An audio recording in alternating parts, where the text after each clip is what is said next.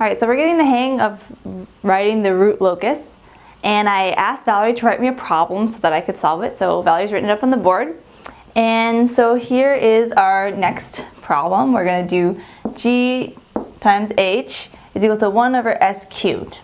Okay, so we'll try to apply as much as we can right away and we'll see what happens. So we see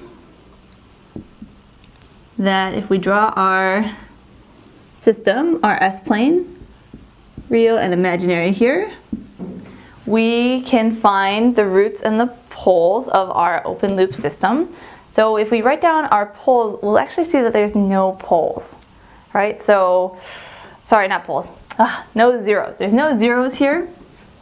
So our zeros, if we wrote this out, zeros, none, zero. And the poles, we have three poles, so poles at zero, zero, and zero. Okay, so it's kind of hard to represent that on this plane, but a lot of times people try to make x's that kind of look like they're over each other here, so we'll just say triple pole at zero. Okay, so, well, we're not quite sure what to do with this because there's no zeros, but let's see how we can apply the rest. So we're gonna have three branches, so we have three poles here. We should have three branches. We know that they're gonna start at the pole, so all three will start at this pole at zero. And it has to be symmetric about the axis. So whatever path it takes, it has to be symmetric. And let's see if we can apply this. On the real axis, the root locus exists to the left, this should be sorry an S, exists to the left of the open loop poles. This is O open loop poles zeros. So here we have one, two, three, that's an odd number. So we will have the root locus actually on this side. So we will have something going here. And the question is, where does it stop? So I'm going to answer this question now. This is actually one of our, Valerie was very smart. She gave us a tricky problem. Um, the zeros here, there aren't any zeros. So instead of having a finite value, we actually have infinite zeros. So here we have three infinite zeros. So three infinite, I'll put infinity, infinite zeros. So that means that they go off into infinity and they will kind of continue off. So there's no discrete or yeah, finite ending point. They are, the ending point is just continuing off into infinity. So here we actually see that. We see one of them, so one of these three poles will follow this path and go all the way to infinity. Okay?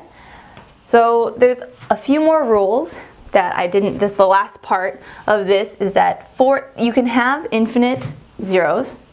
And here we're working again with proper systems, so the order in the denominators higher or equal to that of the numerator. So usually our infinite parts will be zero and all the systems will work in the infinite um, the infinite ones will be the, the zeros of the system.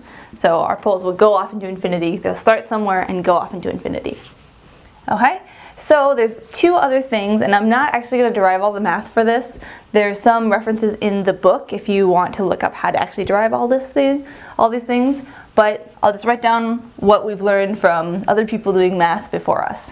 So let's see. So for the for the root locus for infinite infinite um, I guess they're zeros. They're the poles as they go to infinity. I'm gonna write it this way. So for the root locus, as the root locus just going to write it as RL, approaches. Approaches straight lines.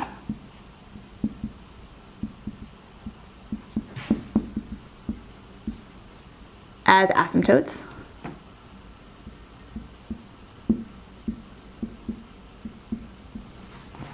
as the root locus approaches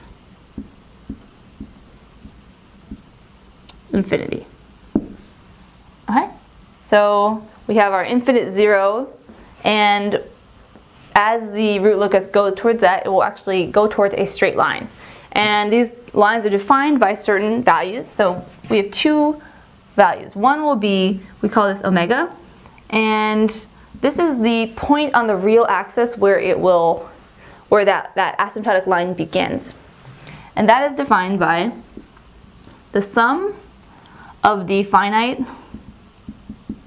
poles minus the sum of the finite oops, finite zeros. And these are all of our open loop, which is our GH expression here, whatever k is multiplied by. And then this is divided by the number of finite poles,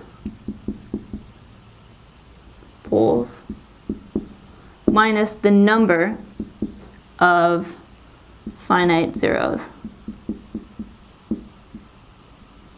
So this is the point where the, the asymptotes will start from the real axis. And then they'll also start from the real axis and go out at some angle. So here actually we have this, we're starting from this point and we're going off into negative 180 or positive 180 into the left side. And then we will see that they'll actually go off to two other directions, but what are the angles of those? So we also have a definition for the angle of that split off. So we're gonna call it theta. And the numer denominator is actually the same as this one, so let's write again, number of finite poles minus the number of finite zeros.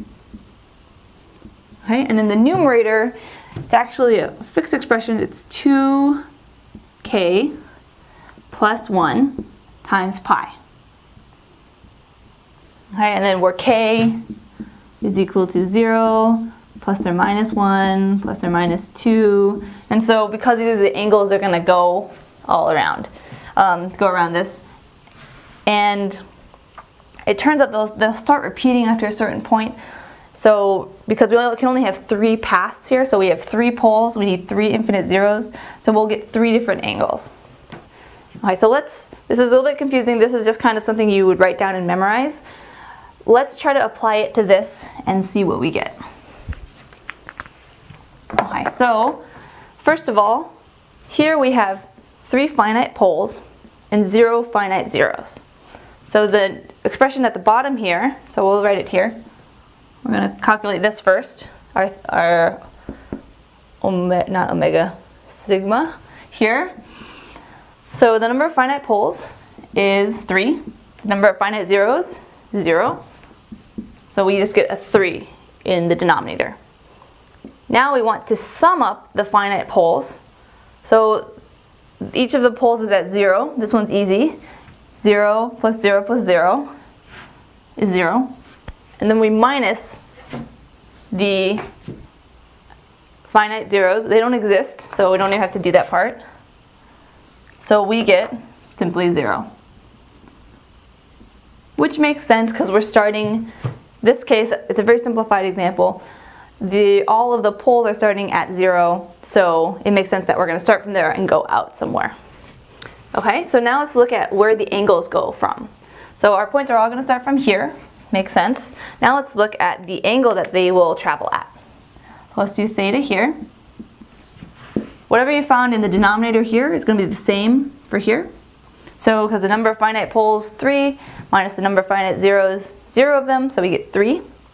And here we have this, this set expression. So 2, 2 times k plus 1, all of that multiplied by pi.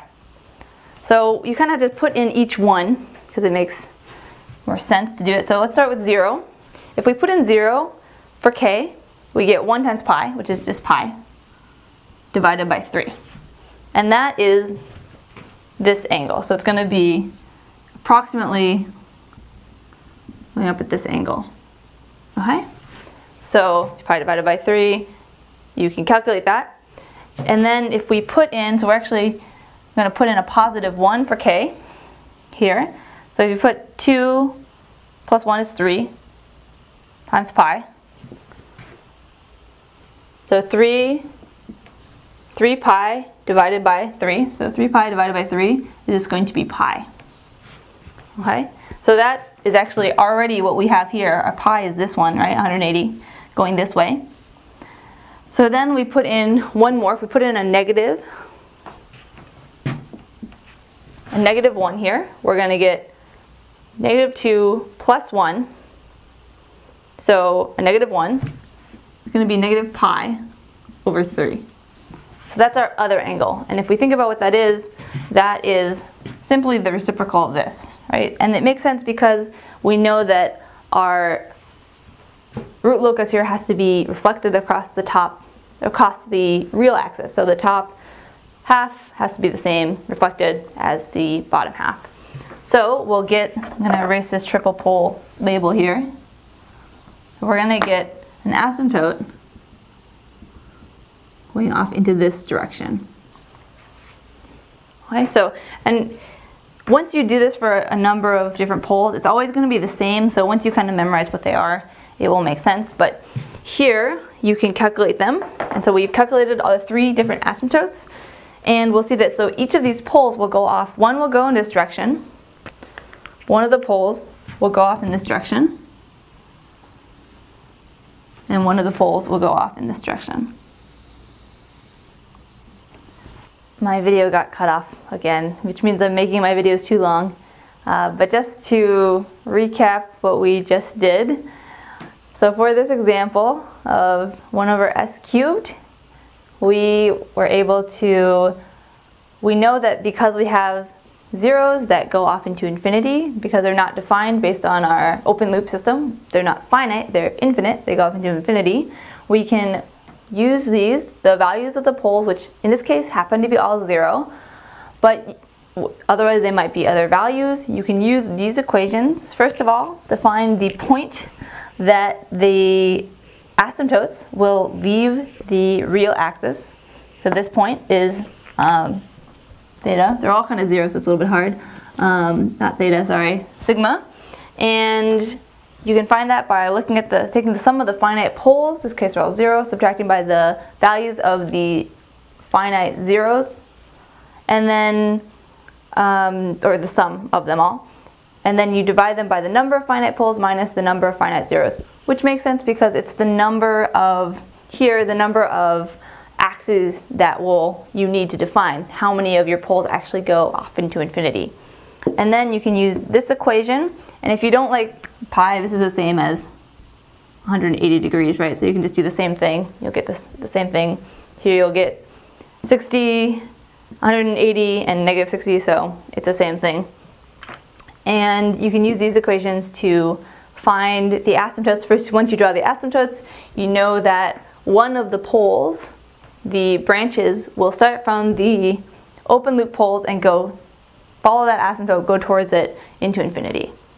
Okay, so this are all the different steps. We've gone through each part of them. Hopefully I've explained them fairly clearly. Um, it is a little bit confusing, but if you just play with the systems and do examples, I think you'll get a, a hang of it. So if you follow these different rules in order to draw the root locus, you can sketch it fairly easily. And then from there, if you want a very precise one, I recommend using MATLAB. Um, there are some calculations that you can find the actual breakout point um, and we may cover those as well. But for now, this is how you roughly sketch the root locus based on equation given here and following these rules.